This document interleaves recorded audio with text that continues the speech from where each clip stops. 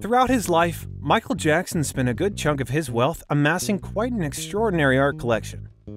In addition to elaborate chess sets and ornamental lamps, the King of Pop had a penchant for collecting commissioned paintings of himself. The singer contacted a number of artists to make these outlandish paintings, which depict him as his favorite fabled characters.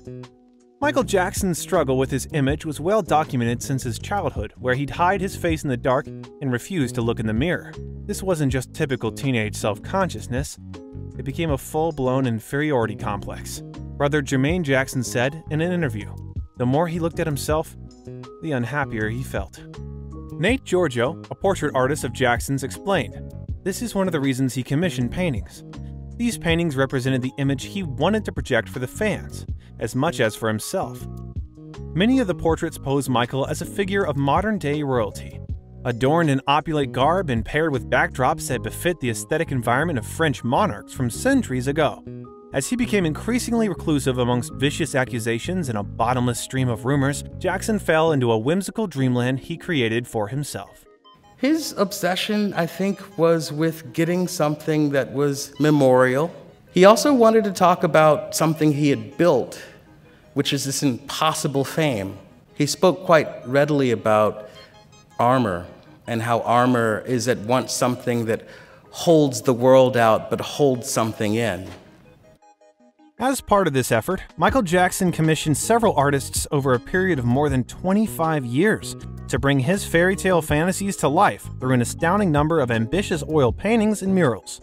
Hiring one artist at a time as his personal portrait painter, Jackson would often pay more than $150,000 for a large scale portrait from any artist he commissioned.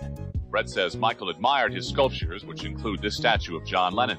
And now he has a new, somewhat racier portrait of Michael. Strong says Jackson posed for it at his Neverland ranch. The girls represent the beauty of the beauty of mankind, and Michael's interest in mankind. Some of the models who modeled for us were friends of ours. It's a story about a man who's in love. Commissioning these works allowed him to reimagine himself however he wanted. Much like kings of a bygone era, these paintings allowed Jackson to remain in control of his own likeness and shape the narrative of his life and message. American portrait artist Ralph Wolfe Cowan painted Michael Jackson four times from 1992. The pop star bought the first portrait and then commissioned three more shortly after. Cowan's first abstract portrait depicted Jackson wearing a suit of armor, holding a sword with a parrot perched on top of it.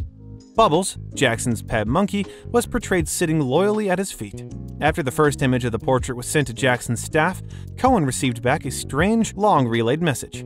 When I painted it, I had these dogs down in the bottom somewhere German Shepherds. Michael Jackson called up his curator, who called the guy at the gallery, who called my business manager, and he told me Michael didn't want the dogs in there. Cowan recounted, extremely confused. Cowan insisted he hears from Michael Jackson himself. Soon after, Cowan got the call. Hello, this is Michael. I don't like dogs. I like monkeys. Jackson paid $30,000 for the 8 foot tall painting, minus the dogs, which he hung in a living room beside his piano and can be seen in the background of Jackson's well known 1993 televised living room interview with Oprah Winfrey. Eventually, their working relationship deteriorated. Cowan explained how painting for Michael Jackson was really like working for a king. He lived in a fantasy world, and if he didn't like something, you felt as if he could behead you. But the way he does it is by not calling you again. And somewhere along the line, he stopped calling me and I thought I had been beheaded. The American painter, David Nordahl, randomly received a phone call from Michael Jackson at his home in Santa Fe, New Mexico late one evening in February 1988. He thought it was a prank at first, but Jackson convinced the artist it was really him after describing a painting of Nordahl's he had just seen in Steven Spielberg's office earlier that day depicting a 19th century raid on a Native American Apache camp by U.S. Army troops. Initially, Jackson contacted Nordahl for art lessons, and after their hour long conversation, Jackson invited him to the Denver stop of the Bad Tour in March 1988. I didn't know what to expect, David Nordahl said. We went to galleries, bookstores, and a private showing of the King Tut exhibit. We sat around and laughed and talked. Nordahl brought all his equipment and art materials so they could draw together. It was fun but I noticed that he would get frustrated if he couldn't do the exercise correctly. We worked together for a few afternoons, and I was surprised at how quickly he would catch on. Michael was a very busy person with his music, so it didn't leave him a lot of time to practice his drawing skills. If he had chosen to be a painter rather than an entertainer, I'm convinced he would have been a great artist. When speaking about their first interactions, Nordahl said he had a red corduroy shirt, black pants, and loafers that were kind of broken down in back. Michael never wore any jewelry, no rings, no belts, no watches, nothing ever. The only time he wore those things were on stage. I was just so impressed with how simply he lived. Nordahl and Jackson's bond was cemented not only through their mutual artistic appreciation, but through their shared experience of traumatic childhoods. I grew up in a difficult home, and he did too, says Nordahl. We had no playtime growing up. We're both fanatical about work. I can't remember not drawing, he said. I had an abusive, alcoholic father, and drawing is something that takes you out of the real world. Michael Jackson then decided he wanted to commission artwork from David Nordahl. But when Nordahl first started working with Jackson, he thought there may be a few projects then he would go back to his own work. But he was wrong. There became so many projects that they continued to overlap each other. So the painter left the commercial art world to become Jackson's personal portraitist. Over the next 17 years, this creative collaboration resulted in thousands of drawings and roughly a dozen large scale commissions. Jackson spent millions of dollars paying Nordahl to transform his surreal and mythological ideas into fantasy art. Nordahl's technique took a long time, so he was not prolific. When he left the art world to paint for Michael Jackson, he had over 200 people on a waiting list for his work. The artist embarked on bold statement pieces like Field of Dreams, a 36 by 104 inch oil study for an unfinished work that would have measured 12 by 38 feet. Along the sunlit path in Field of Dreams, he leads children of all nationalities, plus Sister Janet, AIDS activist Ryan White, actor Macaulay Culkin, and a fictional depiction of Pippi Longstockings. When he was in talks about the portrait, Michael Jackson sent the artist a note David, if our kids don't have truth in their heart, then we're dead. It'll be as fake as manufactured flowers with no fragrance. Not shots, but kids in real life, candid situations. We must capture the true life spirit of the wonders of childhood. If our picture has a full spectrum of human emotions belief, truth, heart then the entire world will be touched from generation to generation. Immortality. Conquer the world. Love, MJ. In a massive creative undertaking, Michael Jackson is depicted being crowned and knighted in royal robes. This is one of the three studies I did of Michael Jackson for the painting Triptych.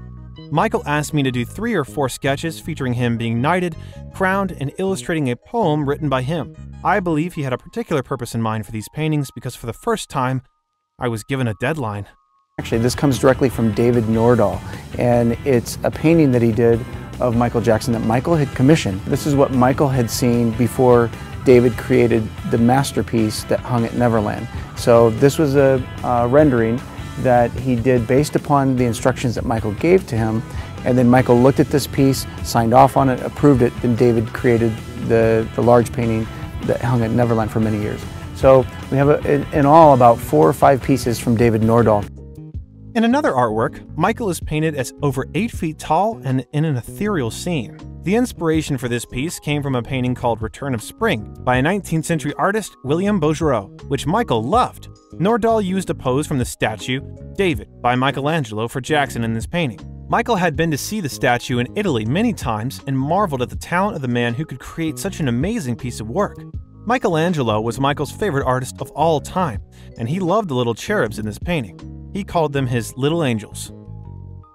Michael Jackson didn't only commission artwork of himself, but also those dearest to him throughout the years. In November 1994, David Nordahl spent two weeks with Michael and Lisa Marie at the Trump Towers in New York. The artist was there to work on two projects for Michael while he was in the recording studio. He remembers Michael and Lisa Marie were great together and a lot of fun to be with. In 1995, Michael asked Nordahl to do a painting of the two of them, not one to do a normal portrait. He came up with a creative vision of how he wanted to portray their love for each other. Michael gave him a list of things he would like to see in the painting, and Nordahl made a sketch for him. Jackson said he loved it, not to change a thing except to make the castle more fanciful.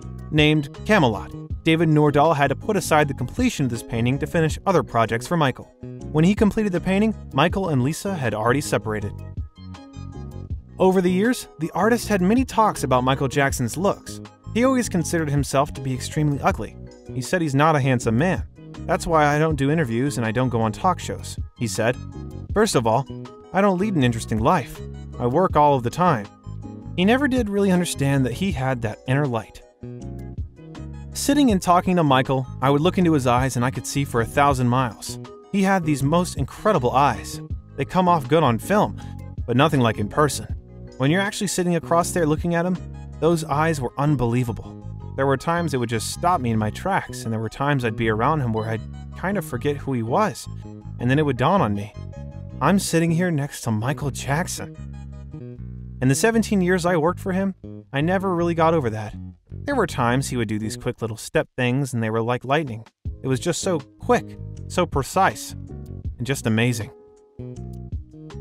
Check out our channel for more Michael Jackson videos and also visit our MJ store by clicking our link in the description. Thank you for watching The Detail. We'll see you next time.